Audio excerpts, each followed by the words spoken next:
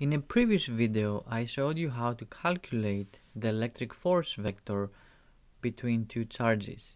In this video, I will show you how to calculate the magnitude of the electric force. As in the previous video, we had charge Q1 right here in position 0 minus 0.10 and charge Q2 at this position 0.200. Charge Q1 had a charge of 10 to minus 9 coulombs and charge Q2 had a charge of minus 2 times 10 to the 9 coulombs. In the previous video, we calculated the position vector that goes from 1 to 2 as the difference R2 minus R1 and then we found the magnitude of that vector. Now, the electric force from charge 1 on charge 2 is given by the constant 1 over 4 pi epsilon naught times the charge q1 times q2 divided by the distance squared times r hat. Now, if we want to calculate the magnitude of this electric force, then we need to take the magnitude of the right hand side as well. An important property of unit vectors is that their magnitude is always 1. This is why they are called unit vectors. So when we take the magnitude of r hat, this becomes 1.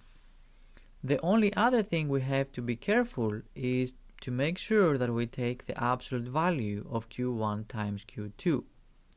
Now, we know that the magnitude of any force is either 0 or a positive number.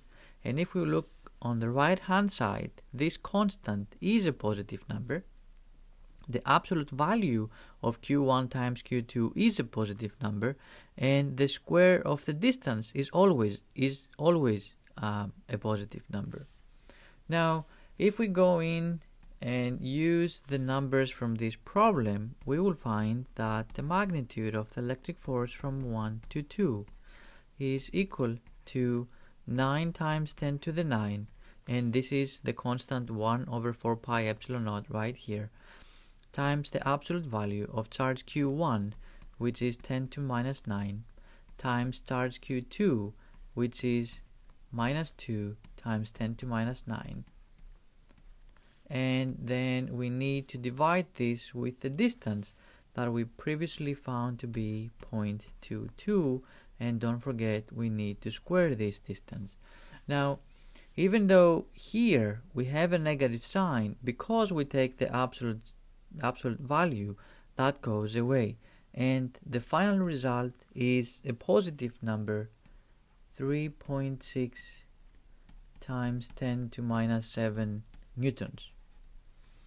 Now, if you find the magnitude of the electric force ever to be a negative number, you know that something went wrong because this magnitude can only be either 0 or a positive number.